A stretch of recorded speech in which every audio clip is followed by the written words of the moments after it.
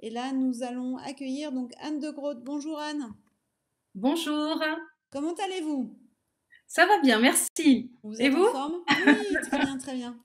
Euh, du Bon. coup, vous allez nous parler des bilans de compétences. Pourquoi le bilan de compétences n'est pas juste un- une simple formalité? Vaste sujet, le bilan de compétences. Euh, donc, du coup, ben, je, je vous laisse nous en parler. Je vous retrouve tout à l'heure, Anne. D'accord, merci. Bon, en tout cas, je suis ravie d'être ici. Euh, merci euh, de me laisser en fait un temps de parole par rapport à ce sujet euh, qui m'anime fortement. Et aussi parce que je suis particulièrement ravie d'être ici, enfin d'être avec vous en tant que professionnelle de l'accompagnement et également en tant que femme. Alors effectivement, le sujet du bilan de compétences, c'est voilà, un sujet qui m'anime. Euh, et euh, je voulais surtout euh, vous amener à vous dire pourquoi le bilan de compétences n'est pas juste une simple formalité. Je vais d'abord me présenter. Donc, je suis Anne de Groot, fondatrice du cabinet Assonance Conseil. Je vais vous parler un petit peu de mon parcours, euh, parce que j'ai vécu un parcours semé de, de reconversion, de chômage. Donc, à l'âge de 25 ans, j'ai fait une première reconversion professionnelle. Donc, je suis passée du métier de vendeuse euh, au domaine et au monde des ressources humaines et du recrutement, où j'ai été salariée pendant 12 ans. En 2012, j'ai été licenciée économique. Ce licenciement économique a été un petit peu brutal. euh, et je me suis posé des tas de questions, à savoir qu'est-ce que je faisais? Est-ce que je repartais salariée ou est-ce que je partais euh, vers l'entrepreneuriat? Il faut savoir que l'entrepreneuriat, ça a toujours été quelque chose qui, qui m'animait, mais j'avais jamais osé franchir le cap. Alors j'ai fait euh, tout simplement, du coup, un bilan de compétences. Le bilan de compétences m'a permis de mieux me connaître et puis surtout de trouver la meilleure réponse pour moi qui était l'entrepreneuriat et surtout j'avais envie d'aider les autres à se sentir bien et à leur juste place. Euh, depuis dix ans, j'accompagne des femmes, des hommes euh, dans leur transition professionnelle pour se sentir mieux euh, dans leur travail, mais aussi pour bah, qui savent pas par où commencer. Alors, Assonance, c'est quoi? C'est euh, aujourd'hui une société à taille humaine. Euh, depuis dix ans, on a accompagné euh, plus de 800 personnes en bilan de compétences et 75 personnes en accompagnement à la VAE, c'est-à-dire validation d'acquis d'expérience. Hein. Assonance, c'est aussi quatre cabinets sur le Nord-Pas-de-Calais, donc Hasbrook, Saint-Omer, euh, Villeneuve-d'Ascq et Dunkerque, et bientôt un cinquième sur Calais. Voilà, donc du coup, effectivement, moi j'ai une, vocation, euh, en tout cas une conviction, pardon, profonde, qui est, euh, pour moi, peu importe son parcours, quel que soit son parcours, son métier, on peut changer de vie ou faire une transition professionnelle. Pour moi, il n'y a pas de frontière entre la vie pro et la vie perso. On doit se sentir bien dans sa vie professionnelle pour se sentir bien dans sa vie personnelle et réciproquement. Vous le savez peut-être, mais 9 Français sur 10 ont eu envie de changer de vie ou l'ont déjà fait. On constate, d'ailleurs, je constate depuis euh, la crise du Covid, il y a de plus en plus de demandes de personnes qui sont en quête de sens. Euh, exercer le même métier jusqu'à la retraite, c'est vraiment derrière nous. D'ailleurs, les études nous disent qu'on va exercer 5 voire 10 métiers dans notre vie professionnelle. Euh, au cours de ce workshop, j'avais envie de vous parler surtout de, de, de plusieurs choses. D'abord du cadre juridique du bilan de compétences, ensuite des démarches nécessaires pour entamer un bilan de compétences. Ensuite, on va se pencher sur le contenu et à la fin, vous allez savoir à quoi vous attendre à l'issue du bilan de compétences. S'agissant du cadre juridique, alors le dispositif, il existe depuis plus de 30 ans. C'est un dispositif qui a fait ses preuves, qui a été euh, étudié. Il est cadré par la loi du 31 décembre 1991 et il est défini par trois phases, à savoir la phase préliminaire, phase d'investigation, phase de conclusion. Vous avez peut-être entendu aussi euh, parler du bilan compétences. Peut-être qu'il y a des personnes de votre entourage qui ont réalisé un bilan de compétences. Il y a deux idées reçues que j'entends euh, régulièrement, à savoir le bilan de compétences n'a rien donné.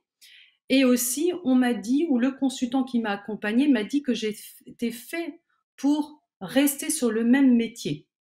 Alors attention, la réponse au niveau du bilan de compétences, ça peut être aussi dans la finalité que finalement, on est bien dans son environnement de travail et bien sur mon métier, sur métier, pardon. Le bilan de compétences, c'est pas ça. Et c'est pas non plus, en fait, une thérapie.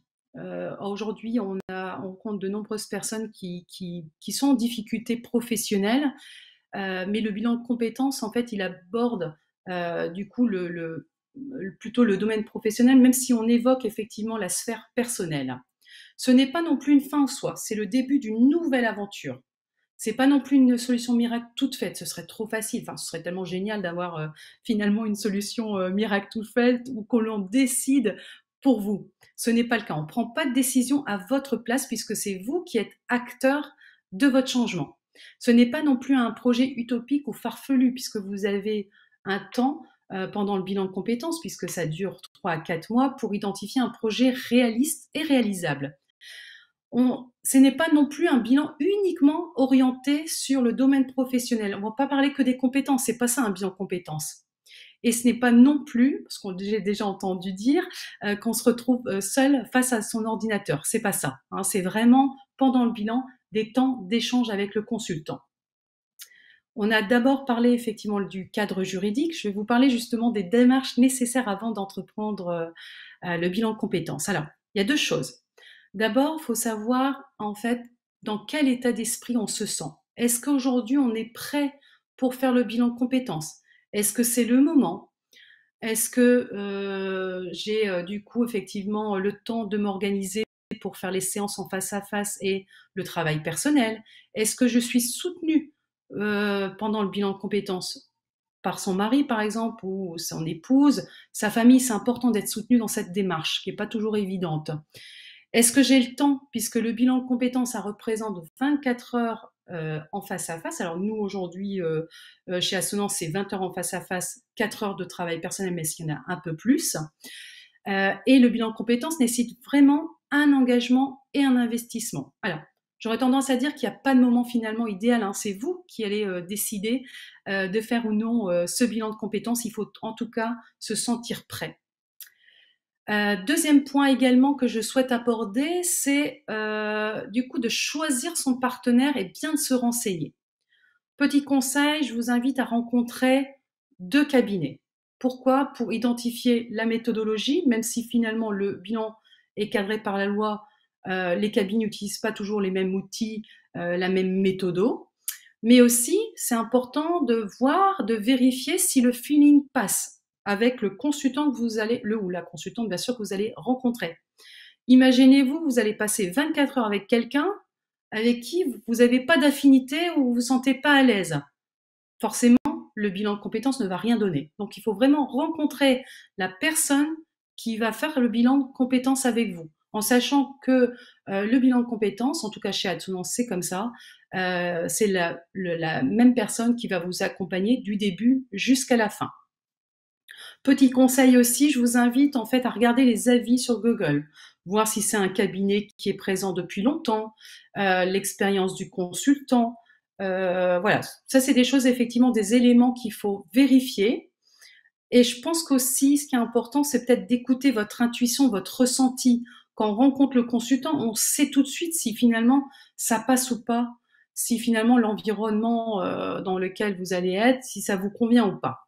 En tout cas, ce qu'il faut se dire, c'est que que ce soit un bilan de compétences en distanciel ou en présentiel, faut vraiment privilégier la relation humaine. Ça, c'est hyper important. Euh, on va parler du financement. Alors aujourd'hui, il existe plusieurs possibilités pour se faire financer son bilan de compétences. Tout d'abord, on a le CPF. C'est quelque chose que vous avez peut-être déjà entendu parler. Donc le CPF, c'est aussi bien pour des salariés, pour des demandeurs d'emploi, des indépendants ou de la fonction publique. Chaque cas est différent. À aujourd'hui, on va dire que dans ce qu'on a aujourd'hui, nous on a 90% des personnes qui utilisent leur CPF pour faire, pour réaliser pardon, le bilan de compétences. En général, c'est plutôt des salariés. On a quelques demandeurs d'emploi et des agents euh, de la fonction publique hospitalière.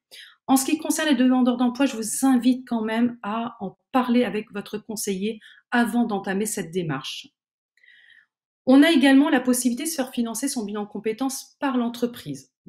Dans ce cas, en fait, il euh, faudra demander le devis et le programme et l'envoyer à votre employeur qui va donner son accord ou non pour financer le coût pédagogique, mais aussi si vous le faites pendant le temps de travail, les heures euh, du de, bilan. En ce qui concerne du coup les agents fonction publique hospitalière, on a le financeur qui s'appelle l'ANFH. Vous avez peut-être entendu parler. Alors, il faut savoir que l'ANFH finance tous les, bilans de compétences des agents publics de la fonction hospitalière. On a également des demandes de bilan de compétences euh, de, personnes qui sont euh, de l'éducation nationale. Donc là, effectivement, c'est à voir parce que c'est au cas par cas euh, par rapport à ces personnes-là. Alors, maintenant, on a parlé du, voilà, du financement du bilan de compétences. On va évoquer le contenu et surtout qu'est-ce qu'on y fait concrètement. Le bilan de compétences, c'est plusieurs étapes. Elle se mène en fait donc du coup sur une durée de 3 à 4 mois en fonction de chacun. Ça prend du temps, ça demande engagement, comme je l'ai dit, investissement, puisqu'on a des séances en face à face. Donc nous, comme on l'avait dit, on compte à peu près 20 heures de face à face, mais on a aussi effectivement du travail personnel. Nous, on dit 4 heures, mais en gros, il y en a plus, il faut s'attendre à plus de travail personnel. Nous, on s'adapte en fonction de la personne. L'objectif, c'est pas de rajouter des charges, une charge de travail supplémentaire, alors que vous occupez, enfin, vous avez votre job, plus vous vous occupez des enfants, plus vos loisirs.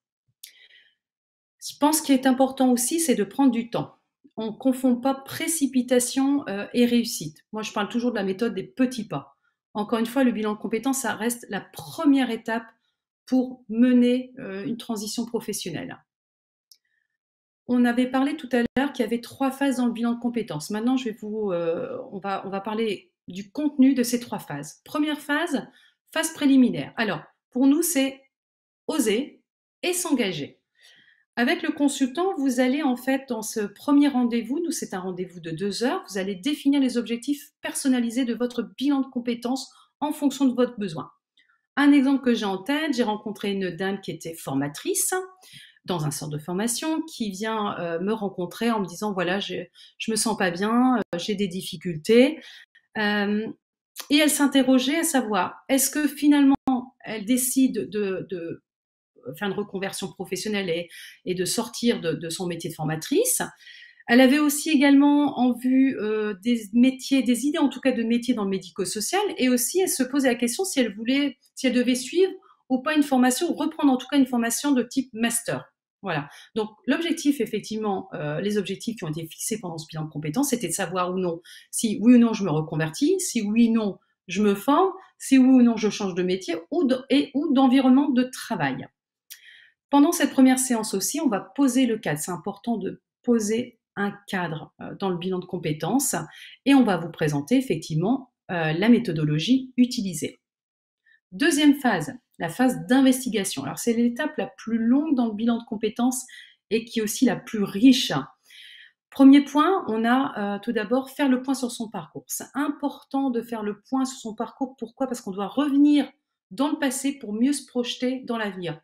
Il faut que vous puissiez comprendre finalement d'où vous venez, euh, notamment pourquoi j'ai choisi ces études, pourquoi je me suis orientée vers ce métier-là, quelle éducation j'ai reçue. Voilà, on va mettre en lumière certains éléments. Ensuite, vous allez dresser un état des lieux de votre situation, mais un état des lieux objectif. C'est important de prendre de recul sur votre situation. Qu'est-ce qui se passe aujourd'hui? Faudrait pas faire l'erreur de quitter en fait son métier, enfin de faire une reconversion, alors que peut-être la problématique euh, ou la difficulté, c'est lié à l'environnement de travail. Troisième point, mieux se connaître. Vous allez apprendre à mieux vous connaître. Ça, c'est hyper important pour gagner en confiance. Ça va se faire au travers de la personnalité, au travers des valeurs, des moteurs, euh, de vos intérêts. Vous devez voilà identifier effectivement qu'est-ce qui vous anime, qu'est-ce qui vous fait vibrer hein, pour avant de, vous orienter vers un métier? Vous allez également, c'est l'occasion aussi, alors on dit bilan de compétences, forcément qu'on va parler des, des compétences, hein. donc vous allez pouvoir euh, euh, identifier les talents, même ceux qui sont cachés, et également les compétences et faire émerger les compétences qui sont transférables vers un futur projet. Vous allez pouvoir aussi définir votre environnement de travail, mettre en évidence, finalement, vous allez pouvoir mettre en évidence vos contraintes. Alors je dis toujours, on est fait pour plein d'environnements de travail, mais on n'est pas fait pour tous les environnements de travail. Certaines personnes vont être peut-être faites pour euh, la fonction publique, d'autres TPE-PMI. Voilà, donc c'est important effectivement de pouvoir identifier l'environnement de travail dans lequel on a envie d'aller. On va aussi, vous allez pouvoir aussi travailler sur vos peurs. C'est extrêmement important parce que si on ne travaille pas sur les peurs, le risque, c'est qu'on n'enclenche pas le changement. Il y en a plein, hein. on a peur, euh, tout le monde a des peurs différentes. Peur de l'inconnu, peur de la perte financière, peur de pas réussir. Moi, en ce qui me concerne, vous voyez, quand j'ai fait mon bilan de compétences, c'était pas évident. Euh, quand on est salarié depuis euh, aussi longtemps, de se dire allez, est-ce que j'y vais? Je, je, je, me décide à me lancer. Moi, j'avais peur de pas réussir et aussi de pas en vivre financièrement.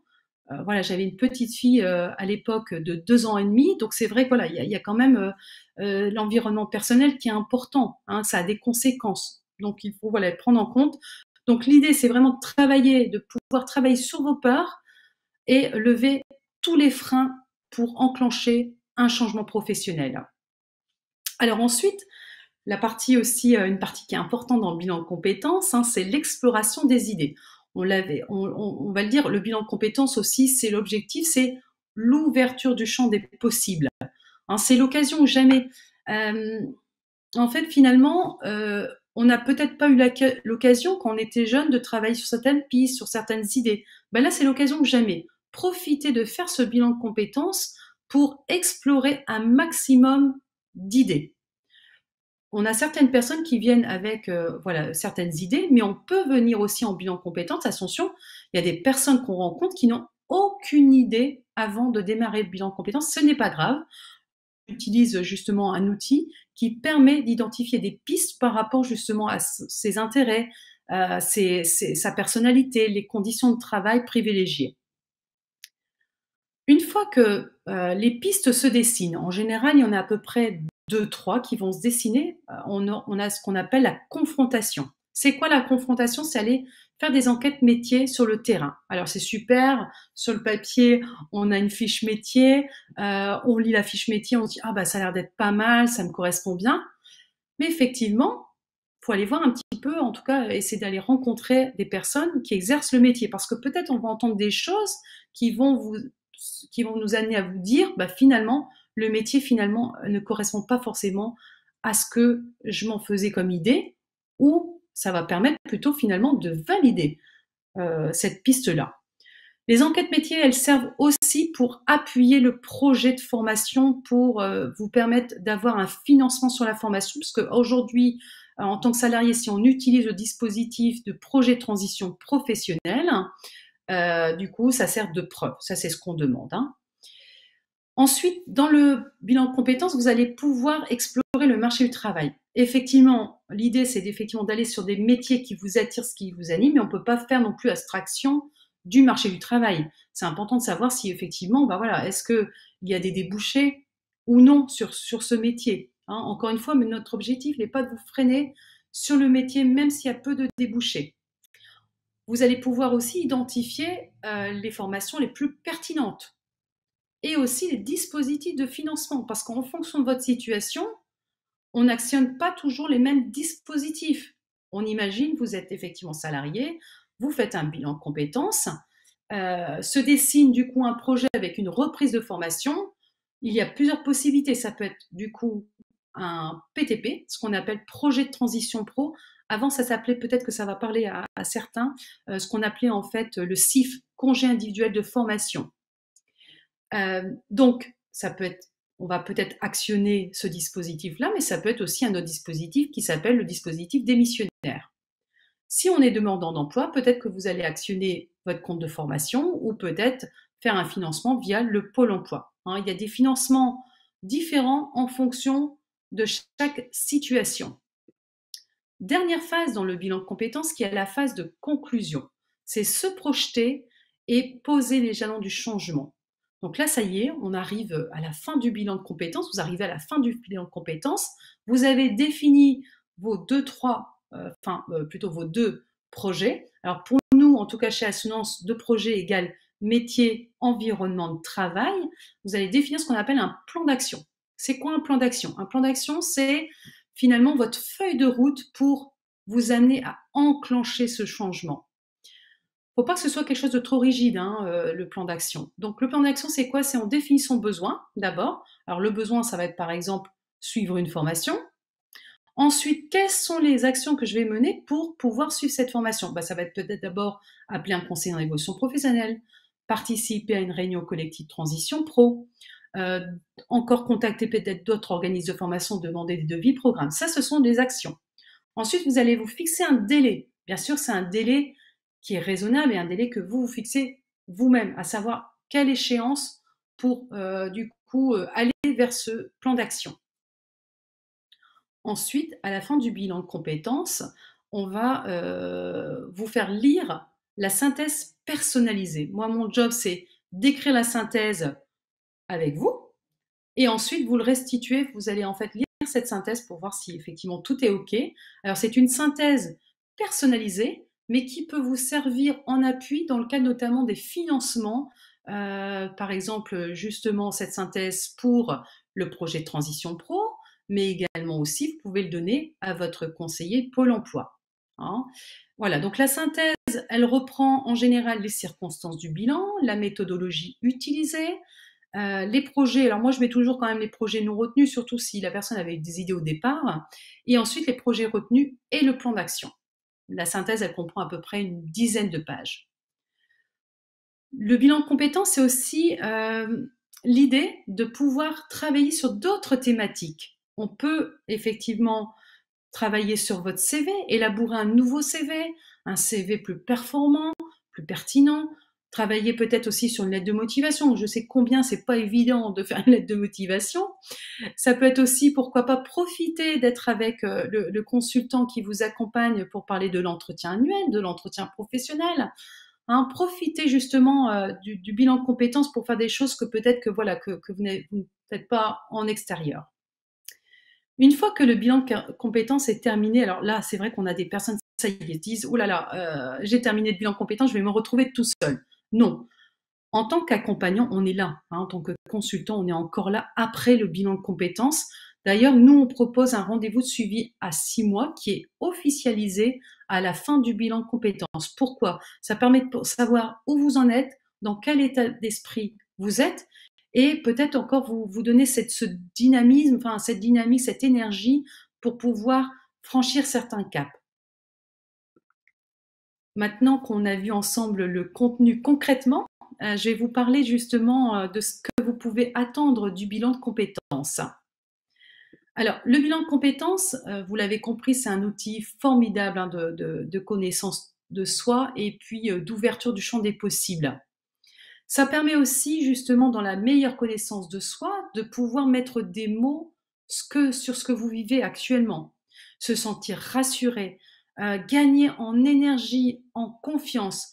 Comme je vous l'ai dit tout à l'heure, c'est un, dispositif qui existe depuis plus de 30 ans. Il y a plein d'études qui sont euh, menées sur le bilan de compétences.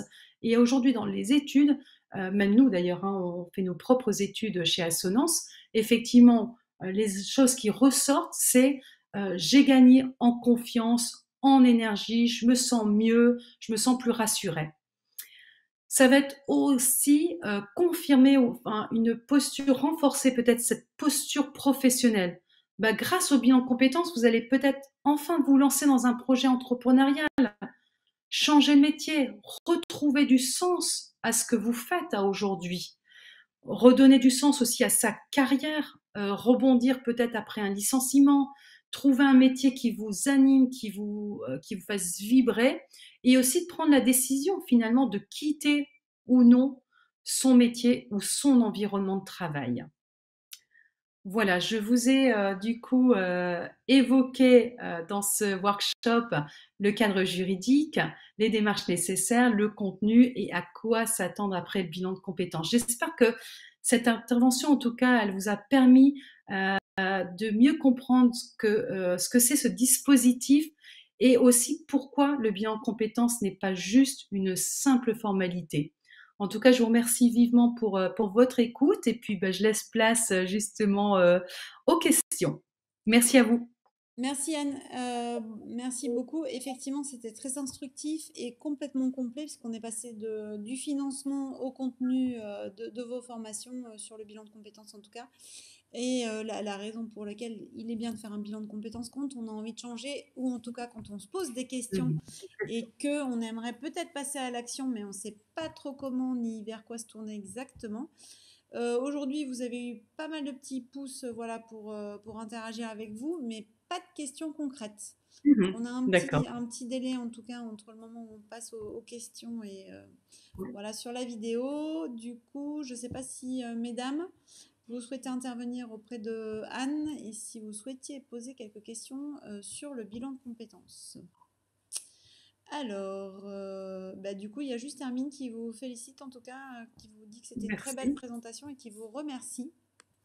C'est gentil. votre présentation, euh, Muriel qui demande quelle est la différence entre un bilan professionnel et un bilan de compétences.